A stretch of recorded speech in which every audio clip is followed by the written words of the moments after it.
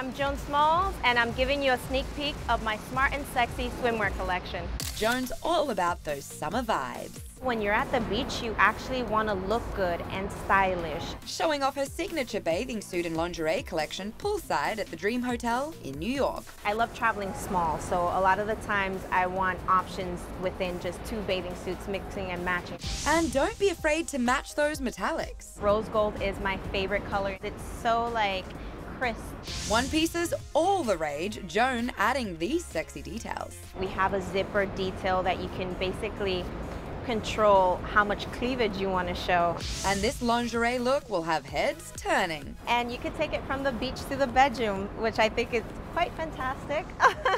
Hard to believe these styles are all under 30 bucks. And here's her number one tip. Make sure you don't already own it and that it's a good classic. Take it from Joan, she definitely knows what she's doing.